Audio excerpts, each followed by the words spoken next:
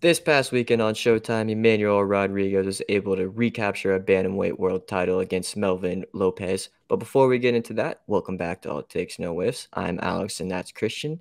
And Emmanuel Rodriguez completely dominated this fight. Once we bring up the court scorecards, you'll see that. And to be honest, I was really impressed from Rodriguez in this fight he used his jab very well and pretty much just dominated uh, Melvin Lopez for the entire 12 rounds, even though he probably could not see out of his right eye for half of the fight.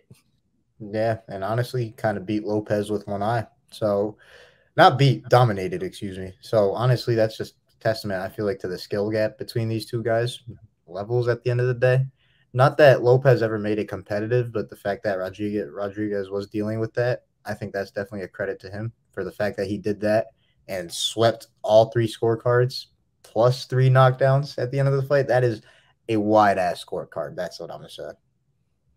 Yeah, very wide scorecard, and I'm honestly, like I said, was very impressed with how he was able to win this fight pretty much with one eye. The clash of mm-hmm. heads there early on in the fight kind of caused with that, and then Melvin Lopez had his moment sometime in this fight where he landed some nice stuff, but like we said, Rodriguez dominated this fight. But in the 12th round, right there, three knockdowns in the last 30 to 45 seconds of the fight. I mean, that was just super impressive. Yeah, that definitely was. Thought he could have gotten him out of there at some points, but just a little too late at the end. I'm pretty sure it was like five seconds left with the third knockdown. So Lopez uh, saved by the final bell, I guess you could say, but still took the L. L for Lopez. Not playing that's out of pocket.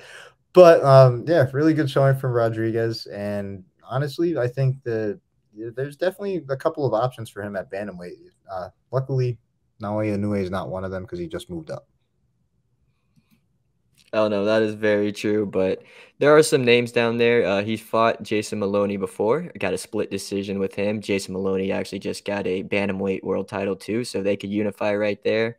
And then there's also Alejandro Santiago, who just captured a world title here at bantamweight when he beat Nonito Donaire a couple weeks ago. So unify against one of those two guys, and I can't think of who the other guy is right now, um, who has the fourth belt in this division, but I think he could unify with any of those guys, and it'd be a pretty solid fight. I'd honestly love to see a rematch versus uh, Jason Moloney since that fight went to a split decision. Yeah, and that's a unification right there. So, yeah, definitely could get that in the mix. I would have to agree; those are definitely like some of the biggest names that probably Rodriguez could run into right now. Like I said, doesn't have to worry about Naoya Inoue. I'm, who there's another Inoue in that weight class though. That's I think kind of a night. Takuma or Takuma or it's I'm probably saying his name completely wrong. Well, it's T A U M A, I think. Yeah, so that's someone in the comments can help me out. yeah, they come through with that all the time. But uh, definitely really that that's somebody that Rodriguez could definitely match up with too.